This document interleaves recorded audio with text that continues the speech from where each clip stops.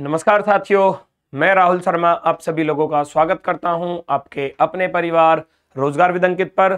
दोस्तों, सभी को नमस्कार है। गुड आफ्टरनून, राधे राधे, जय श्री कृष्णा।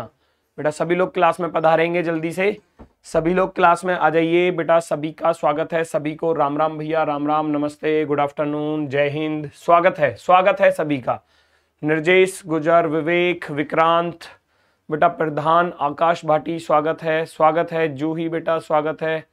पूर्णिमा स्वागत है। अमित चौधरी बेटा, आ जाइए। सभी लोग फटाफट से क्लास से जुड़ेंगे। चैप्टर है आपका लॉजिकल सीक्वेंस ऑफ़ वर्ड। शब्दों का तार्किक क्रम। शब्दों का तार्किक क्रम एकदम शानदार चैप्टर है बेटा एसएससी। इस चैप्टर से ज़्यादा तो नहीं कह सकते, लेकिन किसी किसी शिफ्ट में आपको देखने को क्वेश्चन अवश्य मिलेगा बेटा। एसएससी, जीडी में भी पूछे गए थे क्वेश्चन। और बाकी एसएससी जो भी एग्ज़ाम कराती है बेटा, हर किसी एग्ज़ाम में कहीं ना कहीं क्वेश्चन देखने को मिल ही जाता है। अब हो सकता है वो आपकी शिफ्ट हो हो सकता है वो आपके दोस्त की शिफ्ट हो, ठीक है ना? तो किसी के भी एग्ज़ाम में आपको देखने को क्वेश्चन मिल सकता है इस चैप्टर से। चलो, जल्दी से सभी लोग बेटा फटाफट से क्लास को शेयर करेंगे। चुलबुली बेटा, नमस्कार। प्रिया बेटा, स्वागत है। प्रदीप यादव, मोहित, ब्रजेश, टिंकू, अर्पिता, रुपेश तरुण, अंजू, सभी का स्वागत है। सभी का स्वागत है। सभी लोग जल्दी से क्लास से जुड़ जाइए। सभी लोग जल्दी से क्लास से जुड़ जाइए। अब यहाँ देखो क्वेश्चन किस प्रकार से आते हैं बेटा? क्वेश्चन किस प्रकार से आते हैं? आपको कुछ शब्द दिए जाएँगे और उन शब्दों को क्या है? एक सिक्वेंस में लगाना होगा उनको उनके क्रम के अनुसार। अब हो सकता है वो छोटे से बड़े की तरफ़ हो, है ना? या हो सकता है साइज़ के ऊपर दिया जाए क्वेश्चन हाइट के ऊपर दिया जाए क्वेश्चन या मान लो अगर मैं जीएस पर आधारित क्वेश्चन दे दूँ आपको तो जैसे कि भारत के कुछ राज्य हैं, उनका क्षेत्रफल के ऊपर क्वेश्चन मिल जाए, है ना एरिया के ऊपर। हो सकता है उनकी आबादी के ऊपर, जनसंख्या के ऊपर क्वेश्चन मिल जाए आपको। तो मतलब कहने का अर्थ है, देश विदेश तक के भी क्वेश्चन आपको देखने को मिलेंगे, हर तरीके के। तो जल्दी से क्लास को सभी लोग फटाफट से शेयर करेंगे बेटा। सबसे पहला क्वेश्चन है, मानव शरीर के अंग दिए गए हैं। मानव शरीर के अंगों का नाम यहाँ पर दिया गया है। उस विकल्प का चयन करें जो दिए गए शब्दों का सार्थक क्रम दर्शाता है। घुटना, नाभि, बहो, कमर और ठुड्डी चिन्ह ठुड्डी इसको बोलते हैं, ठीक है? ठोडी। तो बहो आप जानते ही हो बेटा, है ना? घुटना आप जानते हो क्या होता है, ठुड्डी आप जानते हो क्या होता है, नाभि आप जानते हो और कमर भी आप जानते हो।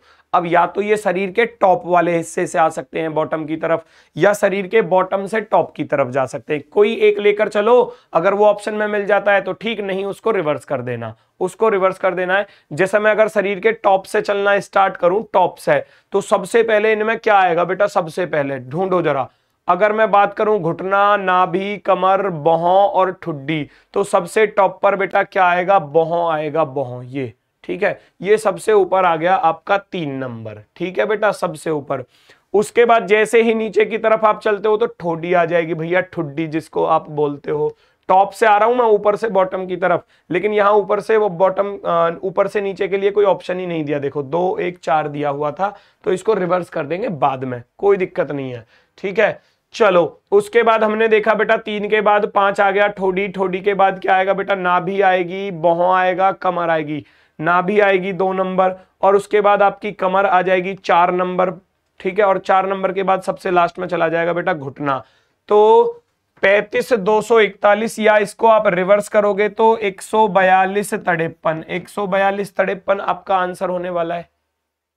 एक सौ बयालीस तड़ेपन आप इसको पूरे को पूरे को चेंज कर दोगे इधर की तरफ़। एक, चार, दो, पाँच, तीन। एक, चार, दो, पाँच, तीन, कौन सा ऑप्शन सही होने वाला है? बी ऑप्शन कौन सा ऑप्शन सही है?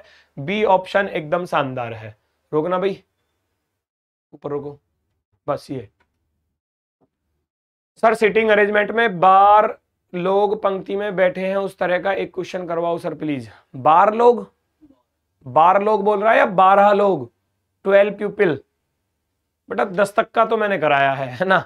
चलो, बारह वाला आगे कहीं प्रैक्टिस सेट वगैरह में करा दूँगा। टेंशन मत लो। अब बेटा, मैंने कल भी क्लास कराई थी, आप लोग सारे अवेलेबल नहीं थे कल क्लास में, है ना? कल कल कम थे आप क्लास में लोग।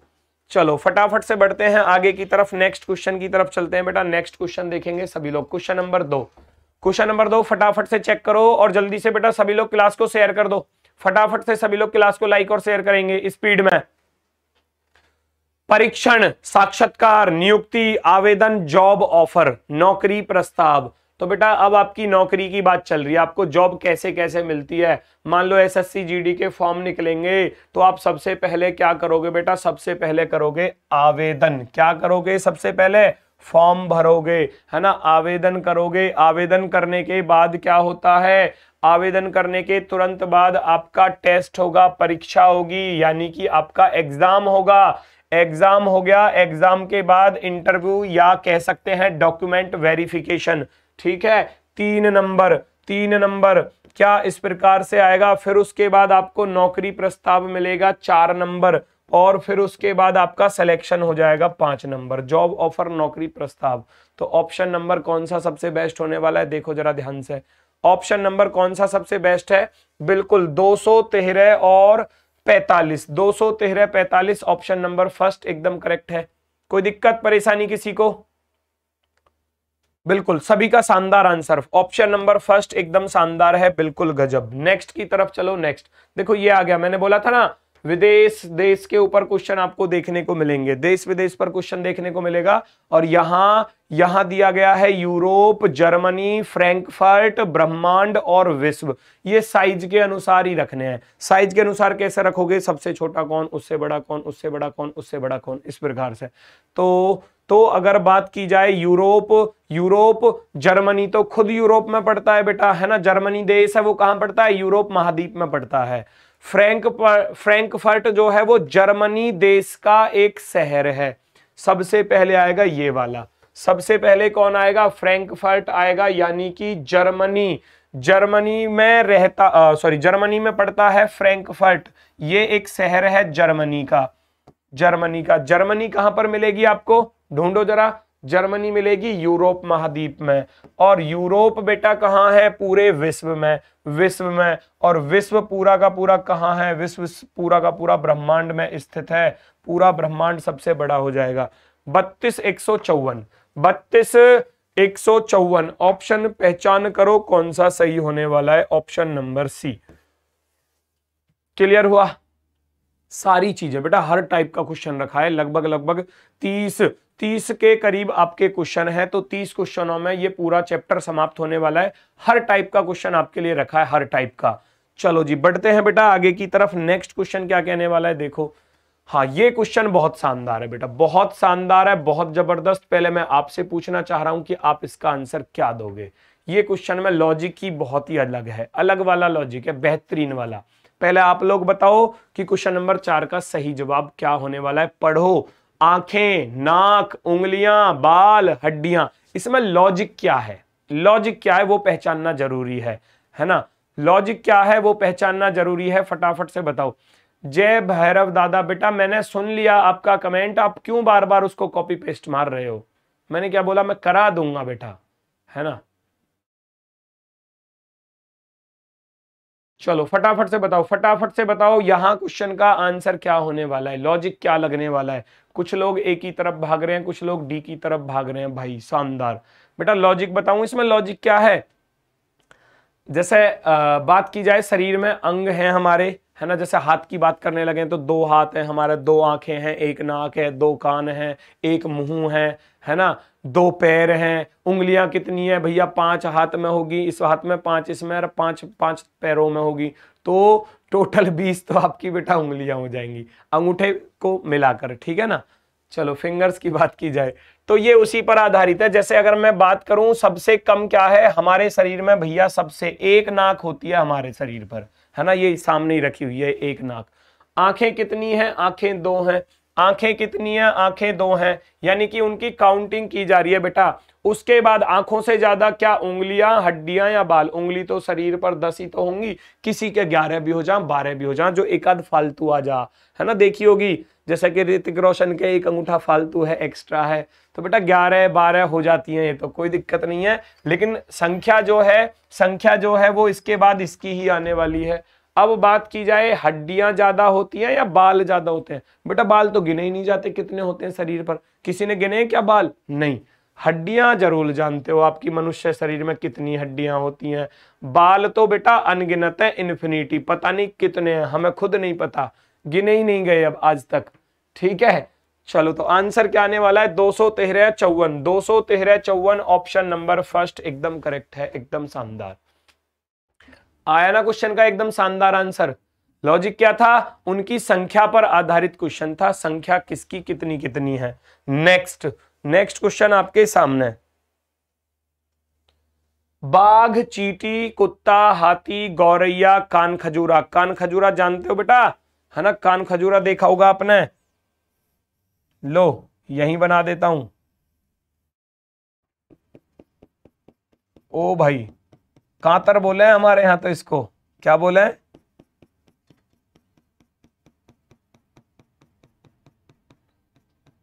ये इसका मुँह हो गया भैया। दिख गया? कान खजूरा। कान खजूरा होता है। बहुत सारे पैर होते हैं इसके। सतपद बोला जाता है सौ पैर वाला सौ पैर वाला। ठीक है बहुत सारे पैर होते हैं तो ये इसके पैर ही हैं। बेटा इधर उधर जो हैं चारों तरफ़।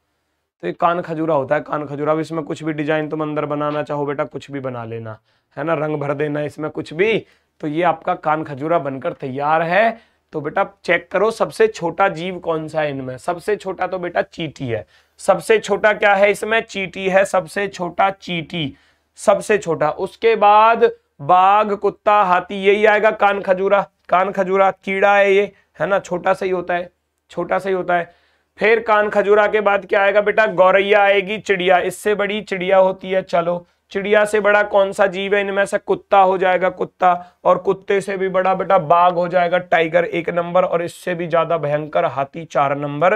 लो भैया, छत्तीस बावन चौदह छत्तीस बावन चौदह ऑप्शन नंबर कौन सा सही होने वाला है? छत्तीस बावन चौदह option number B. Option number B एकदम बेहतरीन है, एकदम शानदार। कोई दिक्कत, परेशानी किसी को बेटा?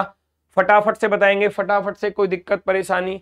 बढ़ते हैं नेक्स्ट की तरफ़, क्वेश्चन नंबर छह। क्वेश्चन नंबर छह रिकॉर्डिंग रिहर्सल दर्शक स्क्रिप्ट वीडियो एडिटिंग चेक करो, कौन सा सही होने वाला है? कौन सा सही होने वाला है? फटाफट से देखेंगे।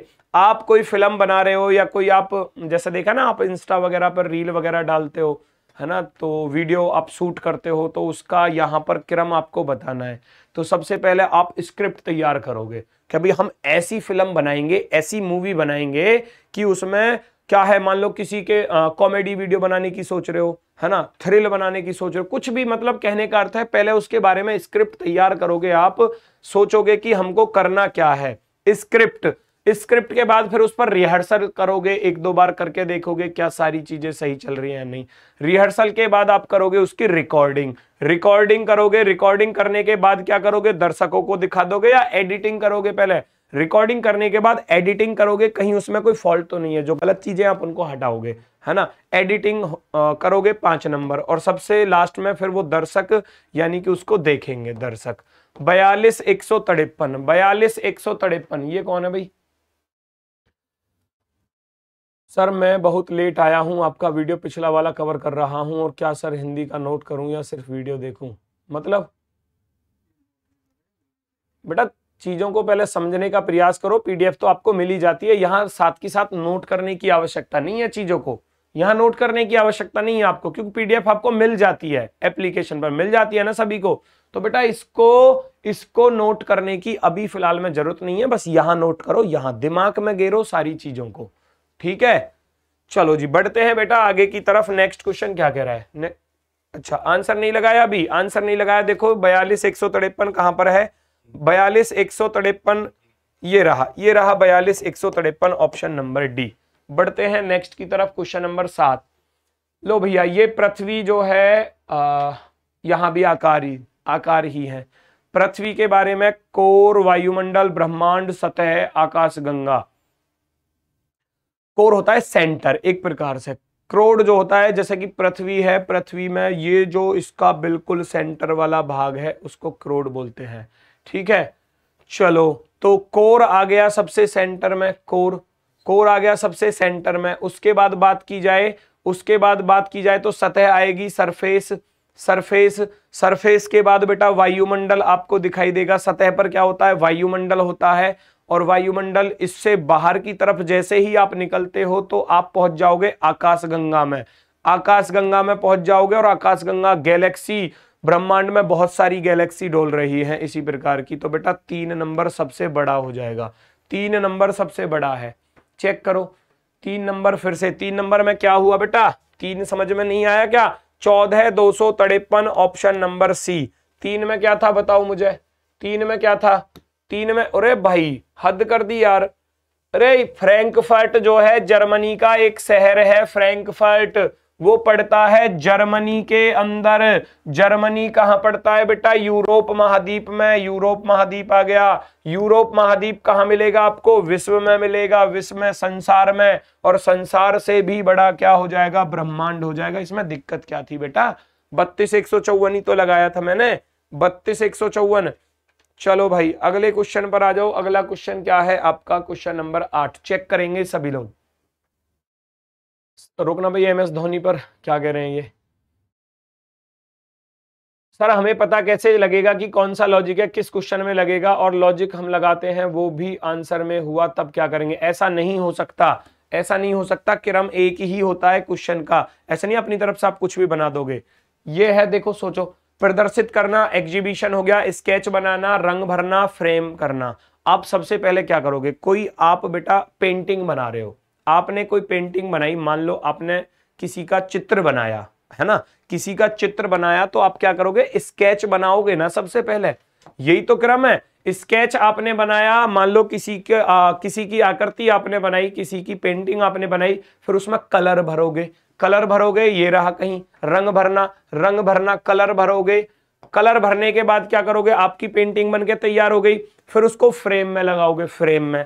फ्रेम करना यानी कि फ्रेम उस पर लगा दोगे चार नंबर फिर उसको क्या करोगे? एग्जीबिशन उसको जाकर एग्जीबिट करोगे, यानी कि प्रदर्शित करोगे, है ना? तो तेईस इकतालीस, इसमें आप अपना थोड़ी ना जोड़ सकते हो, कुछ जो वास्तविक क्रम है वो यही है। सबसे पहले क्या करोगे बेटा? सबसे पहले आप स्केच करोगे, कोई आकृति बनाओगे, चित्र बनाओगे पेंटिंग बनाओगे, फिर उसमें कलर भरोगे कलर भरने के बाद उस पर फ्रेम लगाओगे फ्रेम लगाने के बाद उसको प्रदर्शित करोगे, दिखाओगे, सबको देखो, इतनी अच्छी बनाई है मैंने पेंटिंग ठीक है? तो तेईस इकतालीस इसका आंसर होने वाला है ऑप्शन नंबर फ़र्स्ट आप इसमें अपनी तरफ़ से कोई लॉजिक नहीं लगा सकते।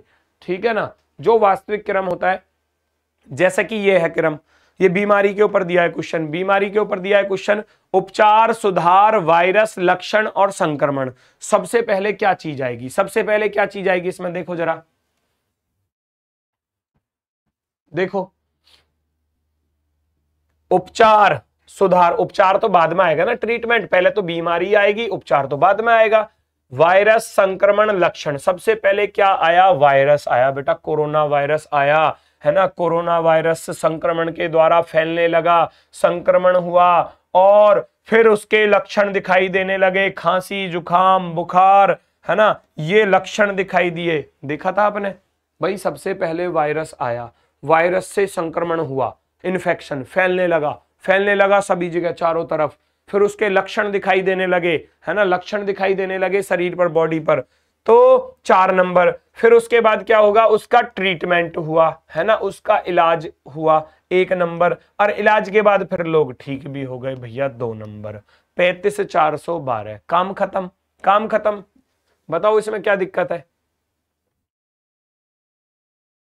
चलो, क्या है आपका आंसर? पैंतीस चार सौ बारह। पैंतीस चार सौ बारह option number C option number C एकदम बेहतरीन, एकदम गजब।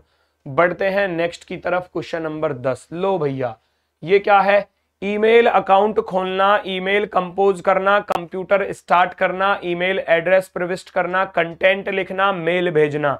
यानी कि आपको किसी के पास मेल भेजनी है। तो मेल तो सबसे लास्ट में भेजोगे, ये तो फिक्स हो गया, ये तो सबसे लास्ट में ही जाएगा, है ना? किसी के पास आप मेल भेज रहे हो तो उसमें आप क्या क्या काम करोगे? क्या क्या काम करोगे? अब यहाँ देखो कंप्यूटर स्टार्ट करना दिया है सबसे शुरुआत में। स्टार्ट कंप्यूटर, है ना? स्टार्टिंग द कंप्यूटर तो कंप्यूटर से आप बैठकर मेल भेज रहे हो, बहुत से अपने फ़ोन से भेज देते हैं ना? वो चीज़ अलग है, लेकिन फ़ोन यहाँ पर नहीं दिया है तो कंप्यूटर दिया है। आप कंप्यूटर पर जाओगे, कंप्यूटर ओपन करोगे, उसको स्टार्ट करोगे। स्टार्ट करोगे तो सबसे पहले आप क्या करोगे, कंप्यूटर को आपने स्टार्ट किया। स्टार्ट करने के बाद आप क्या करोगे बेटा, ईमेल अकाउंट खोलोगे अपना। है ना? उसमें अपना पासवर्ड आईडी वगैरह जो भी है, वो डालोगे ईमेल अकाउंट ओपन करोगे अपना।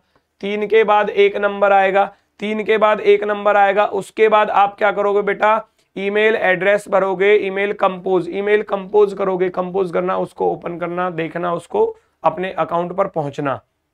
ठीक है? फिर फिर आप क्या करोगे बेटा? ईमेल एड्रेस भरोगे, कहाँ आपको मेल करनी है, कहाँ आपको मेल करनी है, उसके बाद आप कंटेंट लिखोगे, क्या उसमें आपको लिखना है, क्या मैसेज आपको भेजना है किसी को? और सबसे लास्ट में तो बेटा ये आएगा छह नंबर। तीन सौ बारह, चार सौ छप्पन। तीन सौ बारह, चार सौ छप्पन कौन सा ऑप्शन सही होने वाला है? कौन सा ऑप्शन सही होने वाला है? बिल्कुल शानदार ऑप्शन नंबर फ़र्स्ट तीन सौ बारह, चार सौ छप्पन। क्लियर हुआ सभी का? देखो, कितना शानदार था। ऊपर दिखाना भाई, ये कौन है? चलो, बस। नीचे।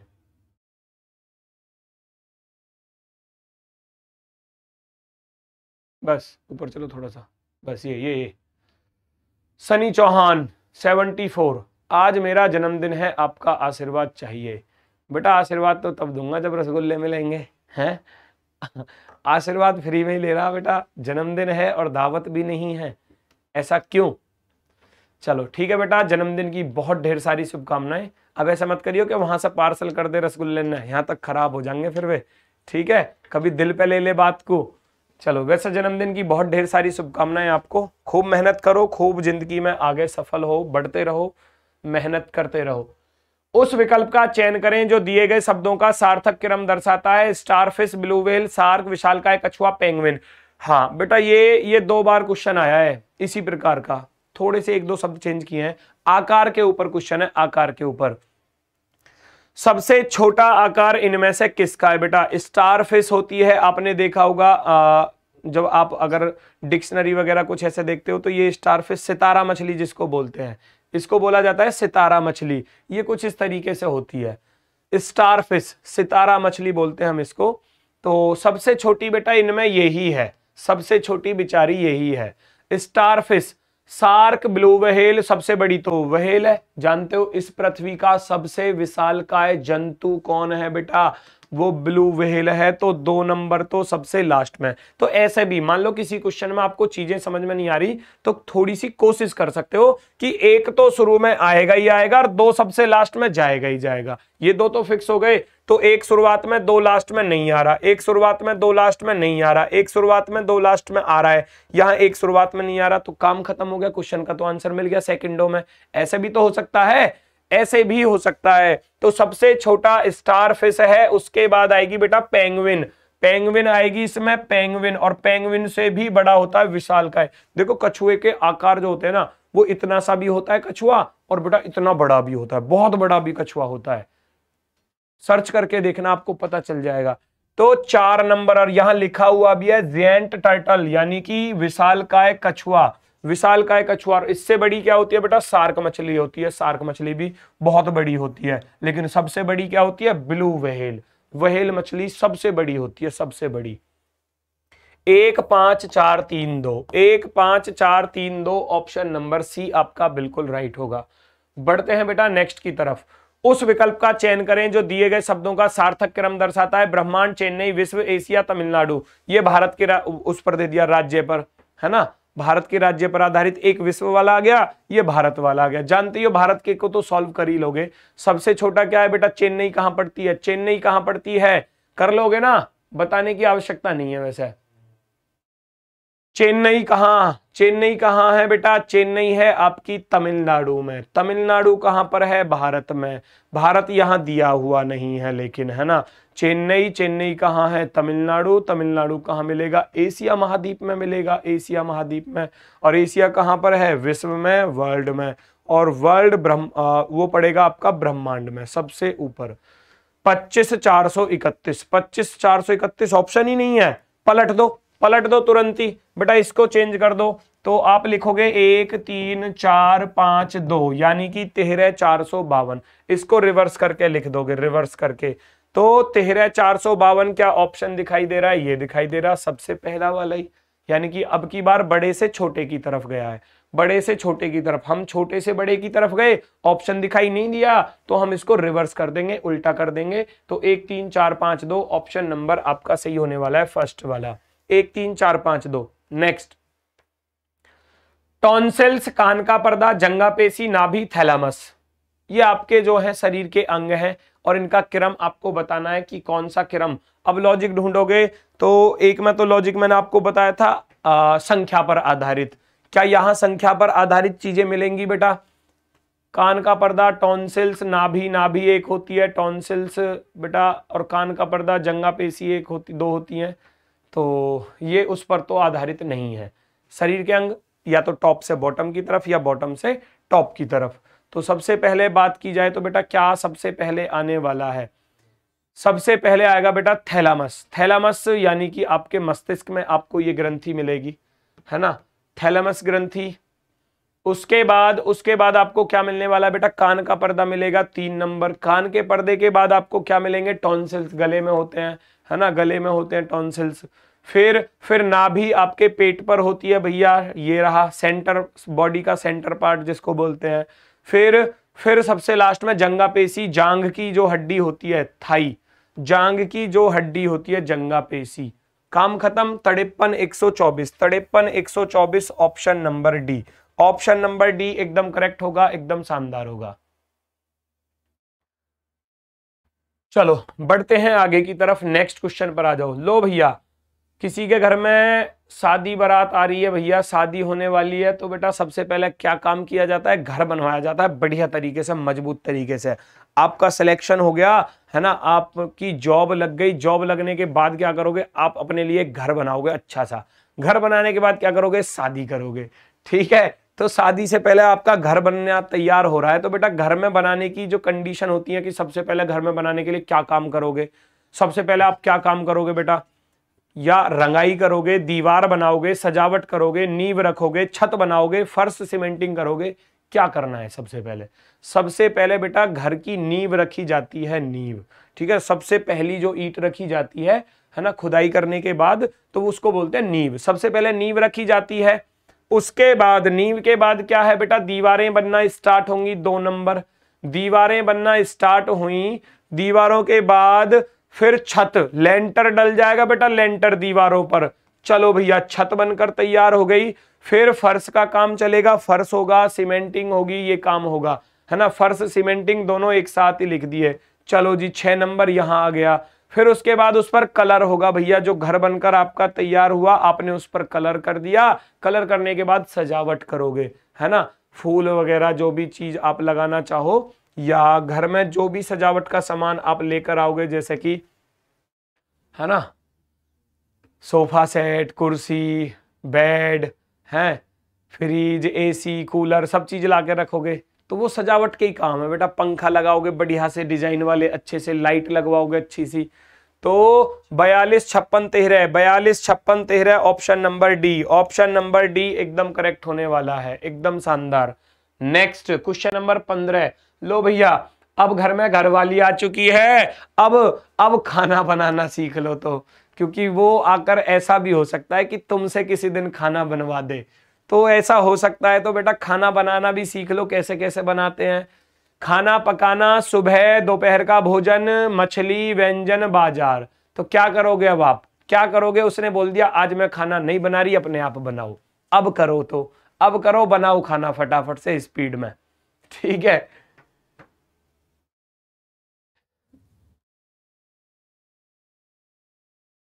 बाई ऑप्शन भी हो सकता है इजी वे बेटा, आप कर सकते हो, मैंने बोला ना, आप कर सकते हो किसी भी प्रकार से ऑप्शन पर भी साथ की साथ नज़र रखो, लेकिन जो चीज़ आपके सामने है, आप इनको क्रम में रखोगे, कितना ही समय लग रहा है 10 से 15 सेकंड के अंदर अंदर ज़्यादा से ज़्यादा बोल रहा हूँ 10 से 15 सेकंड के अंदर अंदर हो जाएगा, इससे ज़्यादा समय नहीं लेगा ये क्वेश्चन सबसे पहले आप क्या करोगे बेटा, सुबह को उठोगे आप। सुबह को उठोगे वाइफ ने बोल दिया, मैं खाना नहीं बना रही, जाके बाज़ार से सामान लेकर आओ, क्योंकि सामान खत्म हो चुका है। आप क्या करोगे? बाज़ार में जाओगे। बाज़ार में गए, पहुँच गए जी बाज़ार में, सुबह उठते ही मार्केट में। वहाँ से क्या खरीदा आपने? बेटा खरीदने के लिए मछली दी गई थी। मछली बन रही है आज तो घर में। भाई, हद हो गई। मछली, फ़िश खरीद के लाए। फ़िश खरीद के आप लेकर आए तो आपने क्या किया? फिर खाना पकाया, यानी कि भोजन को बनाया।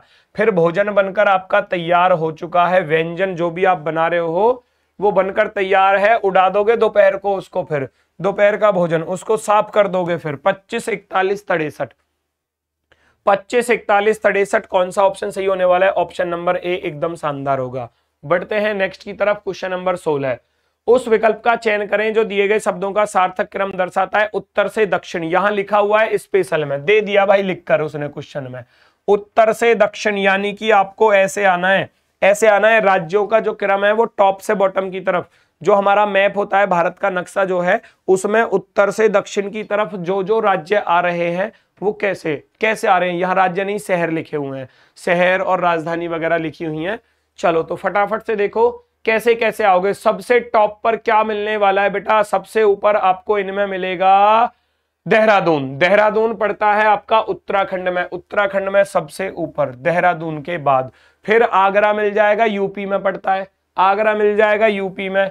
चलो जी, दो बड़ी आसानी के साथ। यहाँ देखो 36 वाले दो ऑप्शन है। एक तो ये रहा, एक ये रहा तो आप इसको गलत कर दोगे, इसको गलत कर दोगे।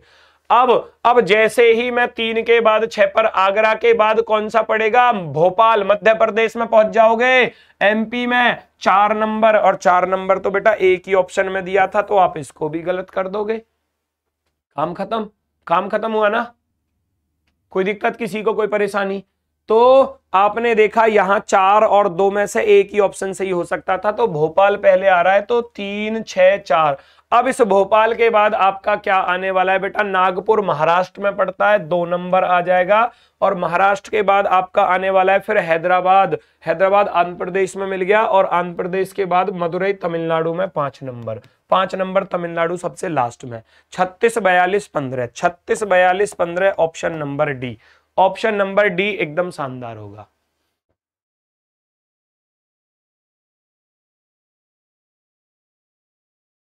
चलो, बढ़ते हैं आगे की तरफ़। बढ़ते हैं आगे की तरफ़, क्वेश्चन नंबर सत्रह। बाजूबंद बाजूबंद बेल्ट एस्कॉट मोजे पगड़ी, जो शरीर पर आप कपड़े पहनते हो, वस्त्र पहनते हो, उनको पहनावे के रूप में दिया गया है। तो बेटा, आप इनको कैसे, आप इनको कैसे रखोगे? जो आप वस्त्र पहनते हो, उनका क्रम कैसे है? शरीर के टॉप से ही आ जाओ। बेटा, पगड़ी दी है ना तो सिर पर पगड़ी पहनी जाती है सिर पर। तो आप सबसे पहले क्या करोगे? पगड़ी को उठा लाओगे। उठा लाओ। एक ही ऑप्शन है पगड़ी वाला। भाई, काम खत्म। कितनी जल्दी से आंसर आ गया। कितनी जल्दी से आंसर आ गया? एक पर ही तो दिया है। पगड़ी, टर्बन, जो सबसे टॉप पर सिर पर पहनी जाती है पगड़ी। लो भैया। और एक ही ऑप्शन में था, काम खत्म। एक सेकंड से ज़्यादा लगा क्या? क्वेश्चन आपने पढ़ा और एक ही सेकंड में आंसर भी आ गया। पगड़ी के बाद क्या होगा बेटा? पगड़ी के बाद क्या मिलने वाला है? एस्कॉट होता है जो गले पर आप टाई पहनते हो ना। तो ये कुछ इस प्रकार से जो होती है, जो आप टाई वगैरह पहनते हो, है ना? जो जो बेटा आप टाई पहनते हो कुछ इस तरीके से। तो ये ऊपर कॉलर पर जो लगाते हैं एस्कॉट उसको बोलते हैं। तो यानी कि तीन नंबर यहाँ पर आ जाएगा। तीन नंबर यहाँ पर आ जाएगा। उसके बाद देखो उसके बाद देखो, टाई टाई है क्या? नहीं, कुछ नहीं है। फिर बाजूबंद आने वाला है, बाजूबंद, यानी कि जो आप यहाँ ऐसे पहनते हो, यहाँ तक मतलब लड़कियाँ, महिलाएँ मतलब पूरा पूरा कहने का अर्थ है बाजूबंद जो है, आप कुछ भी इस पर बैंड वगैरह कुछ ऐसे लगा सकते हो। ठीक है? और फिर उसके बाद नंबर आने वाला है बेटा, बेल्ट। कमर पर आप बेल्ट पहरोगे और सबसे लास्ट में जो है आपके मोजे। मोजे यानी कि जुर्राब जिनको आप बोलते हो सॉक्स वो आ गए आपके सबसे लास्ट में। ठीक है? चलो, बहुत शानदार। ऑप्शन नंबर तड़ेपन एक सौ चौबीस, ये तो पहले ही सही हो गया था, इसमें बताने की कोई आवश्यकता नहीं थी। लो भैया, शानदार क्वेश्चन एकदम बेहतरीन। हाँ जी, ये ये चार विश्व की बहुत फ़ेमस बिल्डिंग्स हैं, इमारत हैं, इनकी ऊंचाई के अनुसार इनको रखना है। ऊंचाई के अनुसार। एफिल टावर हो गया एम्पायर स्टेट बिल्डिंग हो गया, कुतुब मीनार हो गई, बुर्ज खलीफा हो गया, बुर्ज खलीफा। तो बेटा, इनको इनकी हाइट के अनुसार रखना है। एफिल टावर की जो हाइट होती है, वो 300 से लेकर 330 मीटर तक होती है। है ना? Empire City Empire State Building की कितनी होती है, बताओ जल्दी से फटाफट। ये लगभग लगभग होती है बेटा, लगभग लगभग 380 के समथिंग 381 के समथिंग कुतुब मीनार आप जानते ही हो, कितने मीटर की है बेटा? लगभग लगभग 73 मीटर। बेटा मैं थोड़ा सा वैसे ही बता रहा हूँ अंदाजे से, क्योंकि ये जीएस का क्वेश्चन है तो थोड़ा सा जीएस की आपकी मज़बूत होनी चाहिए। कह तीन है जी। तो बेटा मैंने ये थोड़ा सा ऐसे ही बताया अंदाजे से, ठीक है? जो थोड़ा सा मेरी जीएस जो थोड़ी बहुत मज़बूत है, उसके हिसाब से बता रहा हूँ। तो आप इसको अच्छे ढंग से, इनकी हाइट एग्जैक्ट नाप लेना कितनी कितनी है। जाकर फीता मत लगा देना वहाँ पर, है ना? वहाँ पर कभी जाकर फीता लगा दो। ये लगभग साढ़े आठ सौ आठ सौ तीस के समथिंग में कर है। तो मतलब कहने का अर्थ है आपको इनकी हाइट के अनुसार तो सबसे छोटी तो कुतुब मीनार है, तीन नंबर फिर उससे बड़ी आपकी 330 तक ये जा रही है एफिल टावर फिर उसके बाद एम्पायर सिटी है, दो नंबर एम्पायर स्टेट बिल्डिंग और सबसे लास्ट में है बुर्ज खलीफा। बुर्ज खलीफा सबसे लास्ट में। इकतीस चौबीस इकतीस चौबीस नहीं है ऑप्शन में। पलट दो पलट दो तुरंत। बयालीस तेरह क्या बयालीस तेरह ऑप्शन में है? जी, बिल्कुल। बयालीस तेरह ऑप्शन में है। क्योंकि इकतीस चौबीस हमारा आंसर में नहीं था। आप इसको मत छाप देना जल्दबाजी में। ठीक है ना? बहुत से स्टूडेंट क्या करेंगे जी? कुतुब मीनार तो सब में छोटी है तो तीन एक में ही दिया। इसको टेप दो। लेकिन ध्यान रखना कि तीन लास्ट में भी दे रखा है। तो या तो छोटे से बड़े की तरफ़ या बड़े से छोटे की तरफ़। कभी जल्दबाजी में करो और इसको लगाया हो। ये गलत है, ये गलत है। ऑप्शन नंबर ए राइट होगा। नेक्स्ट निम्नलिखित नामों को भौगोलिक स्थिति के अनुसार क्रमिक, अनुक्रमिक क्रम को दर्शाने के लिए सही विकल्प चुनिए। तो ये भी आप, अभी तो कराया। अभी आपको दिए गए थे शहरों के नाम।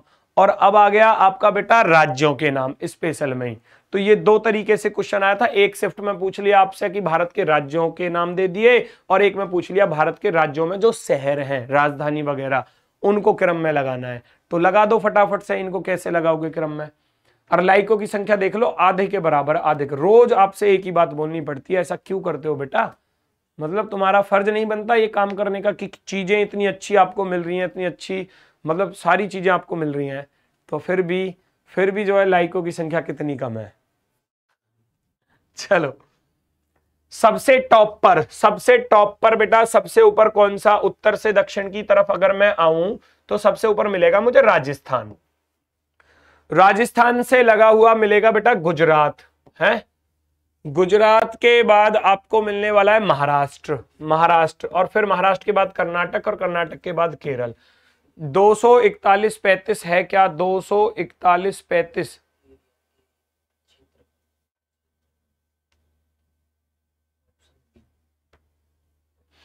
कोई दिक्कत? दो सौ इकतालीस पैंतीस, दो सौ इकतालीस पैंतीस की अगर मैं बात करूँ तो बेटा ये किस प्रकार से तो ऑप्शन में नहीं है, आप इसको पलट दोगे तो पाँच तीन एक चार दो, पाँच तीन एक चार दो ऑप्शन नंबर बी आपका राइट होने वाला है।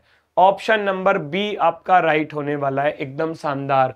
तो तो अगर बात की जाए तो बेटा आपका ऑप्शन है बी बिल्कुल करेक्ट नेक्स्ट लो भैया, भारत की नदियाँ आ चुकी हैं और नदियों को भी कैसे रखा गया है? उत्तर से दक्षिणी रखा गया है। लो भैया, नदियों के ऊपर भी क्वेश्चन मतलब जीएस से रिलेटेड क्वेश्चन रख दिए भाई।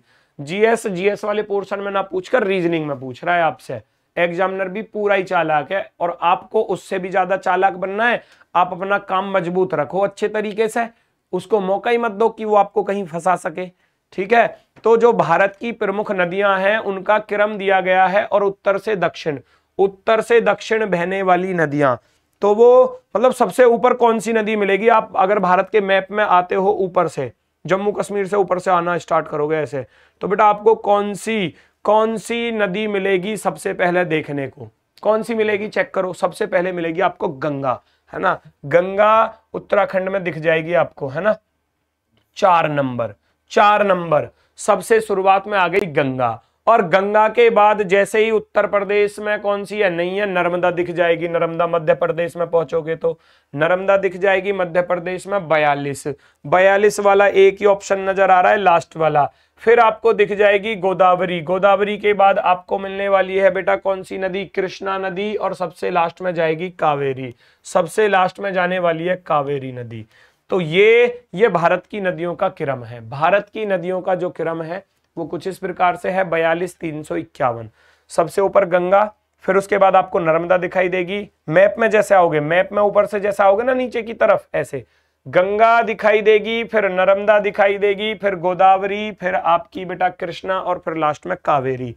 Option number D option number D आपका राइट होगा। ऊपर दिखाना भाई ये कौन महाराज है, परेशान आत्मा? बस।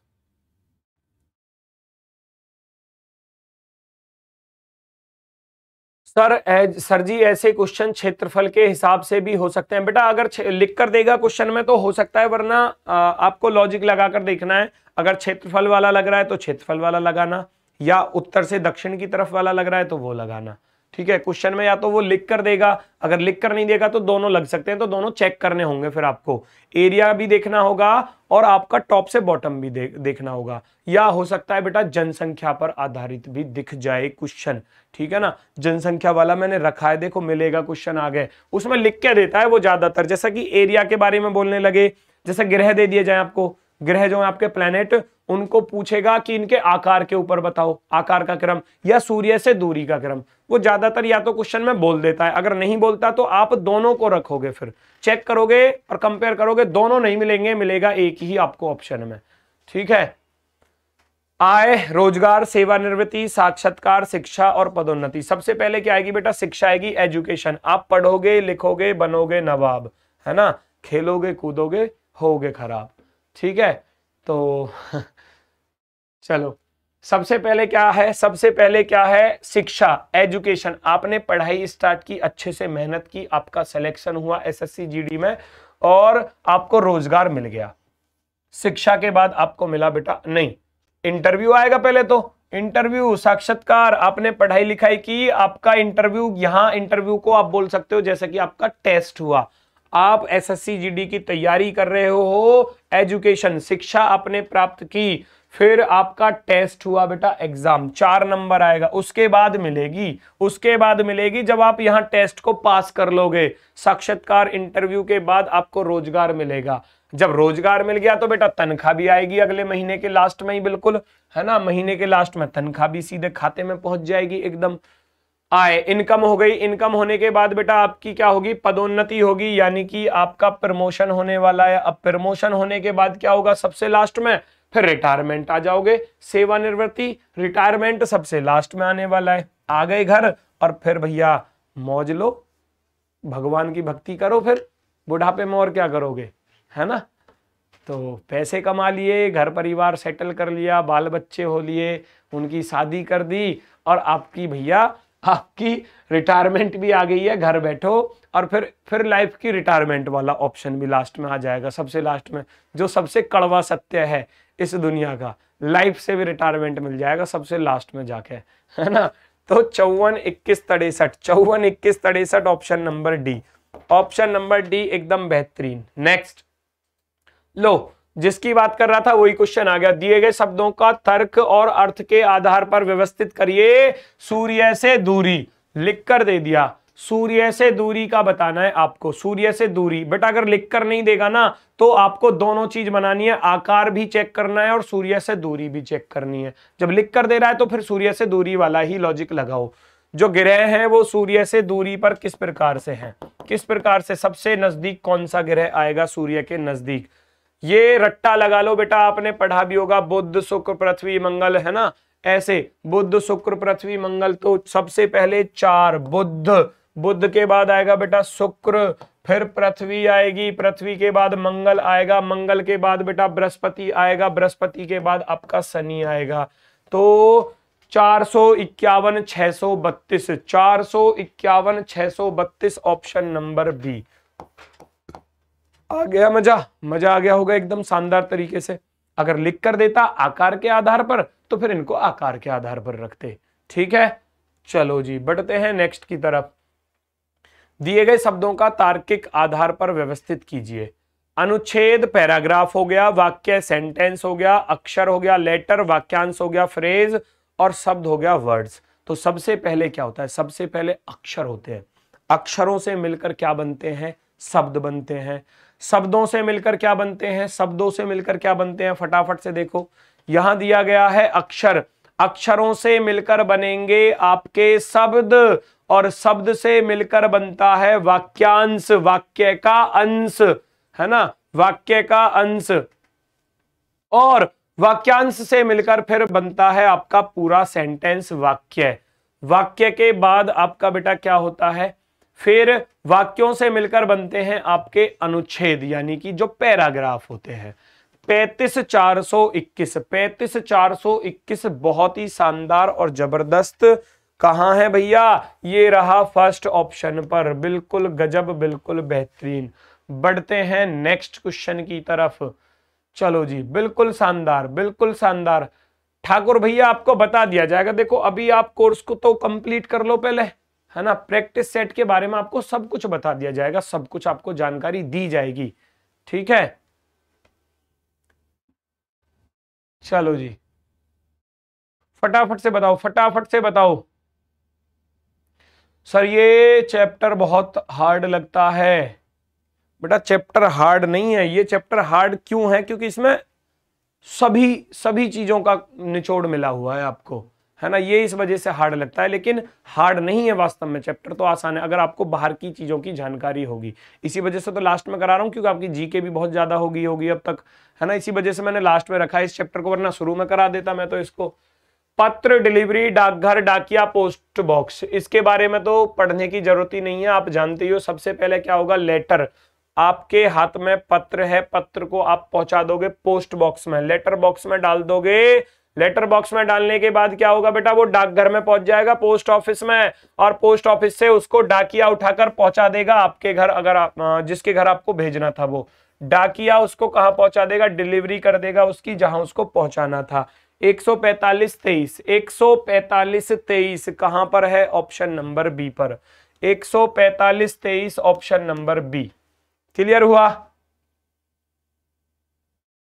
नेक्स्ट नेक्स्ट पर आ जाओ नेक्स्ट पर। दिए गए शब्दों का अर्थ और तर्क के आधार पर देखो। माउंट आबू माउंट आबू जानते हो? कहाँ पड़ता है? विश्व, भारत, राजस्थान, नक्की झील। झील के बारे में दे दिया। नक्की लेक। नक्की झील कहाँ पड़ती है? नक्की झील पड़ती है आपकी माउंट आबू पर्वत पर। है ना? नक्की झील जो है, नक्की झील कहाँ पर है? लो, हिंट मैंने दे दी, पाँच नंबर सबसे शुरुआत में आएगा भाई। ये ऑप्शन तो हो गया अभी के लिए गलत। ठीक है, पाँच इसमें भी आ रहा है, पाँच इसमें भी आ रहा है, पाँच इसमें भी। नक्की झील मिलेगी आपको माउंट आबू पर्वत पर, माउंट आबू पर्वत पर। और माउंट आबू कहाँ है बेटा? राजस्थान में, ये जानते ही हो आप। माउंट आबू कहाँ पर है? राजस्थान में। राजस्थान कहाँ है? अमेरिका में तो ना है राजस्थान, ये बताओ। भारत में ही है। हैं? भारत में ही है। और भारत कहाँ हो गया? विश्व के अंदर 514 बत्तीस। 514 बत्तीस ऑप्शन नंबर ए ही बिल्कुल शानदार होने वाला है। बढ़ते हैं नेक्स्ट की तरफ़, क्वेश्चन नंबर 26 चेक करो बेटा। क्वेश्चन नंबर 26 स्पीड में चेक करो और बताओ जल्दी से। जल्दी से बताओ। Micron metre mile, millimetre, kilometre, centimetre. यहाँ कुछ मात्रक दिए गए हैं तो सबसे छोटी इकाई क्या है बेटा? सबसे छोटी यूनिट क्या है? माइक्रोन। माइक्रोन सबसे छोटा है, एक नंबर। एक नंबर दो ऑप्शन में आया हुआ है। अभी के लिए इनको गलत करूँगा, हो सकता है कि बड़े से छोटे की तरफ़ आ जाए तो ये भी हो सकता था। ठीक है ना? क्योंकि एक नंबर यहाँ भी लिखा हुआ है, लेकिन ये गलत हो जाएगा, फिक्स है। चलो माइक्रोन के बाद आने वाला है बेटा आपका क्या? मिलीमीटर या सेंटीमीटर या मीटर या मील या किलोमीटर? चेक करो। मिलीमीटर आने वाला है मिलीमीटर और मिलीमीटर के इससे बड़ा होगा आपका सेंटीमीटर सेंटीमीटर से बड़ा होगा आपका मीटर और मीटर से भी बड़ा क्या होगा बेटा? किलोमीटर। किलोमीटर इससे भी बड़ा और किलोमीटर से भी बड़ा हो गया मील। मील। तीन नंबर, माइल जिसको बोलते हैं। चौदह, बासठ, तिरपन। चौदह बासठ और तड़ेपन लाइकों की संख्या अभी भी लाइव के बराबर नहीं है। मत करो बेटा लाइक, मत करो, कोई बात नहीं।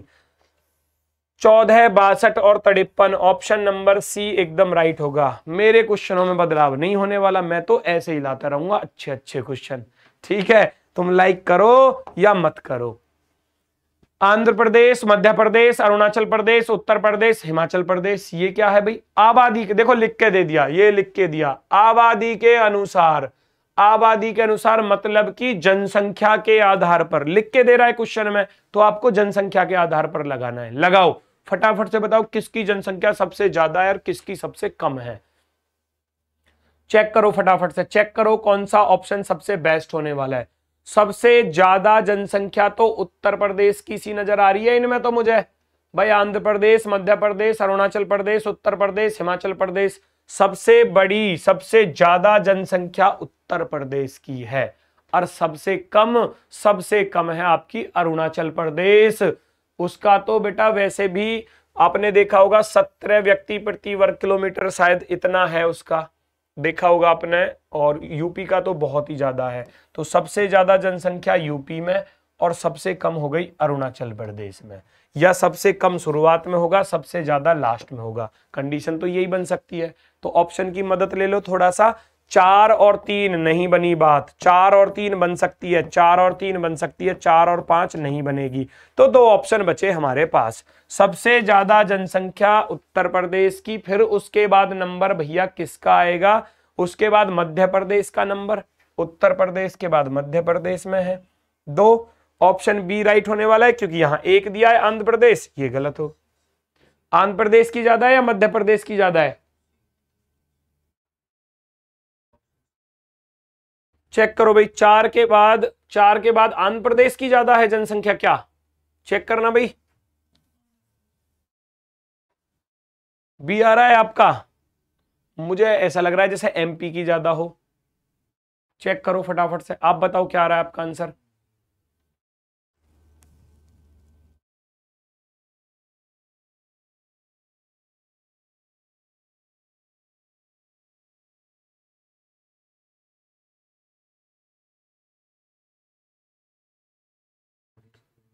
बताओ फटाफट से। भाई, अब बी और सी में कंफ्यूजन हो गया। बी और सी में कंफ्यूजन देखो, आप आप एक क्वेश्चन एक क्वेश्चन आपके लिए मैंने ये दिया और आप इन दोनों में ही कंफ्यूजन हो गए। भाई, देखना जरा। दो और एक एक और दो। कौन सा पहले आएगा? कौन सा पहले आएगा? फटाफट से बताओ। एमपी एमपी और आपका कौन सा था दूसरा? आंध्र प्रदेश एपी किसकी ज़्यादा है? किसकी ज़्यादा है? फटाफट से बता दो मुझे।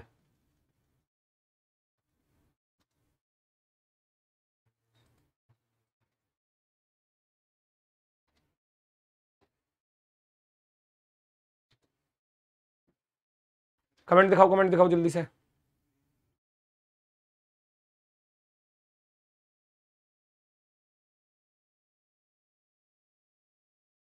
यूपी पुलिस के लिए क्लास। हाँ बेटा, ले सकते हो। यूपी पुलिस के लिए ले सकते हो।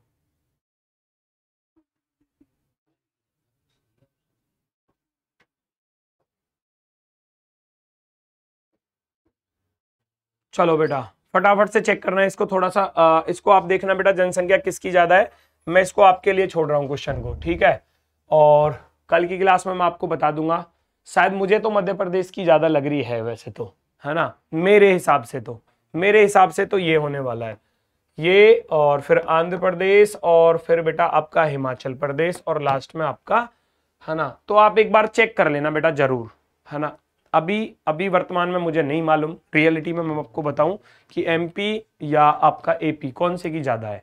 मुझे वैसे वास्तव में ये लग रहा है, आप एक बार चेक कर लेना ज़रूर। फिर बाकी मैं देख लूँगा और मैं आपको बता दूँगा कि इसका आंसर क्या है। नेक्स्ट क्वेश्चन नंबर अट्ठाईस क्वेश्चन नंबर अट्ठाईस। पता नहीं सर कुछ लोग कह रहे हैं एमपी की है, कुछ लोग कह रहे हैं एपी की, है ना? चलो। ठीक है। एमपी की ज़्यादा है, सर। हाँ मैं बोल तो रहा हूँ ना, मुझे लग रहा था एमपी की ज़्यादा है तो ये ये ठीक है, ये ठीक है बेटा, ये ठीक है, इसको लगा लेना। चलो जी, बढ़ते हैं आगे की तरफ़। मगरमच्छ छिपकली, वहेल, घरेलू मक्खी और बंदर। सबसे छोटा क्या है? सबसे छोटा है इसमें घरेलू मक्खी घरेलू मक्खी। है ना हाउस फ्लाई और उसके बाद उसके बाद आने वाला है इसमें क्या? हाउस फ्लाई के बाद बेटा छिपकली आएगी दो नंबर। दो नंबर छिपकली के बाद क्या आने वाला है बेटा? छिपकली के बाद बंदर आएगा, बंदर। और बंदर के बाद आपका मगरमच्छ और मगरमच्छ के बाद वहेल। बयालीस पाँच सौ तेरह बयालीस पाँच सौ तेरह option number D option number D एकदम राइट है। सर, तेलंगाना अलग होने से एमपी की ज़्यादा है। हाँ बेटा, मैंने उसी प्रकार से रखा है, उसी प्रकार से रखा है। चलो नेक्स्ट क्वेश्चन नंबर उनतीस, क्वेश्चन नंबर उनतीस फटाफट से देखो। षष्ट भुज, नौ भुज पंचभुज मुझे इसे बताने की आवश्यकता है ही नहीं। हेक्सागन में छह भुजा होती है पंचभुज में पाँच भुजा होती है अष्टभुज में कितनी होती है? आठ होती है, नौ भुज में नौ होती है, ये सात होती है। तो सबसे कम भुजा वाला अपने आप इसको आप अरेंज कर सकते हो बड़ी आसानी के साथ। सबसे कम भुजा वाला है पंचभुज। पंचभुज के बाद आने वाला है षष्टभुज षष्टभुज के बाद आएगा सप्तभुज। सप्तभुज के बाद आएगा आपका अष्टभुज, पाँच नंबर और फिर दो नंबर। तीन सौ चौदह बावन। तीन सौ चौदह बावन option number first option number first एकदम करेक्ट होगा। क्वेश्चन नंबर तीन। तीस। क्वेश्चन नंबर तीस है बेटा। ये भारत की जो सेना है, उसके क्रम रैंक दिए गए हैं रैंक तो सबसे बड़ी रैंक कौन सी? सबसे छोटी रैंक। इनमें से कौन सी है? है ना? इनको रैंक के अनुसार लगाना है। तो सबसे बड़ी रैंक तो बेटा फ़ील्ड मार्शल होती है इनमें। है? सबसे बड़ी रैंक क्या आ जाएगी? फ़ील्ड मार्शल आपके सामने आ जाएगी, फ़ील्ड मार्शल। फिर जनरल आ जाएगा, जनरल। जनरल के बाद आपका ब्रिगेडियर आ जाएगा। तिरंगा मूवी में आपने देखा होगा राजकुमार जी को। है ना? ब्रिगेडियर सूर्यदेव। फिर फिर आपका बेटा कर्नल आएगा और कर्नल के बाद लास्ट में लेफ्टिनेंट बचा हुआ है, लेफ्टिनेंट, ल्यूटिनेंट, लेफ्टिनेंट बोलते हैं। ऑप्शन कौन सा सही है? पच्चीस तीन सौ चौदह पच्चीस तीन सौ चौदह एकदम शानदार और बेहतरीन क्वेश्चन एकदम गजब। नेक्स्ट क्वेश्चन नंबर इकतीस। क्वेश्चन नंबर इकतीस फटाफट से चेक करो, इसके बाद एक क्वेश्चन और बचा हुआ है, आखिरी क्वेश्चन एकड़ वर्ग यार्ड, वर्ग इंच हेक्टेयर वर्ग फिट। कौन सा कौन सा सबसे छोटा है बेटा? कौन सा सबसे छोटा है और कौन सा सबसे बड़ा है? हेक्टेयर देखो, सबसे बड़ा हो गया हेक्टेयर चार नंबर सबसे लास्ट में यहाँ आ रहा है इन दो ऑप्शन में। और सबसे छोटा हो जाएगा वर्ग फिट स्क्वायर फिट. नहीं, वर्ग इंच आएगा। अभी तो इंच भी तो दिया है। इंच सबसे छोटा है इंच के बाद आएगा वर्ग फिट. वर्ग फिट पाँच नंबर। और फिर आएगा आपका बेटा वर्ग यार्ड वर्ग यार्ड दो नंबर। और उससे बड़ा होता है एकड़। एकड़, इनको पढ़ लेना बेटा अच्छे ढंग से, और सबसे बड़ा इनमें हेक्टेयर सबसे बड़ा जो मात्रक है, वो हेक्टेयर होने वाला है हेक्टेयर पैंतीस दो सौ चौदह पैंतीस दो सौ चौदह ऑप्शन नंबर ऑप्शन नंबर ये रहा आपका। पैंतीस दो सौ चौदह ऑप्शन नंबर सी आखिरी क्वेश्चन आज का। आखिरी क्वेश्चन है, फटाफट से बता दो, कौन सा जवाब सही होने वाला है? कोई आपने कोई आपने बीज बीज यानी कि सीड कोई भी पौधा आप लगाना चाह रहे हो, उसका बीज आपने जो है ज़मीन के अंदर बोया, है ना? तो सबसे पहले आपने क्या किया कि बीज है, मान लो आपको कोई फ़सल उगानी है, गेहूँ की बात कर ली जाए, है ना? तो गेहूँ को क्या किया, आपने बेटा ज़मीन के अंदर उसको रख दिया। उसके बाद क्या है, बीज में क्या होगा, अंकुरण होगा, तीन नंबर। और अंकुरण के बाद क्या होगा, उससे पौधा जो है वो बाहर की तरफ़ निकलेगा, पौधा प्लांट लेकिन यहाँ बाल वृक्ष भी दिया गया है, जो छोटा छोटा गेहूँ का पौधा है तो बाल वृक्ष पहले आएगा, फिर वो पौधा बनेगा और सबसे लास्ट में फिर वो वृक्ष ट्री तेईस पाँच सौ चौदह तेईस पाँच सौ चौदह ऑप्शन नंबर बी आपका राइट हो जाएगा, एकदम शानदार तरीके से। ठीक है? चैप्टर कंप्लीट है। कल के लिए जो चैप्टर चलने वाला है, वो है आपके लिए बेटा क्लॉक चैप्टर कल के लिए जो चैप्टर रहेगा, वो रहेगा आपके लिए क्लॉक घड़ी। घड़ी और कैलेंडर दोनों एक साथ स्टार्ट होंगे। पहले घड़ी कराऊँगा, उसके बाद कैलेंडर को कराऊँगा। ठीक है दोस्तों, बाकी मिलते हैं आपसे कल अपने वाले समय पर एकदम बेहतरीन तरीके से। चैप्टर होगा क्लॉक घड़ी, क्योंकि क्लॉक और कैलेंडर से क्वेश्चन पूछ लिए जाते हैं कभी कभी ठीक है तो सभी को आज के लिए मेरी तरफ़ से बेटा नमस्कार है और मैथ की क्लास का समय हो चुका है, जल्दी से पहुँचेंगे सभी लोग मैथ की क्लास में। ठीक है दोस्तों, नमस्कार, धन्यवाद, टाटा बाय बाय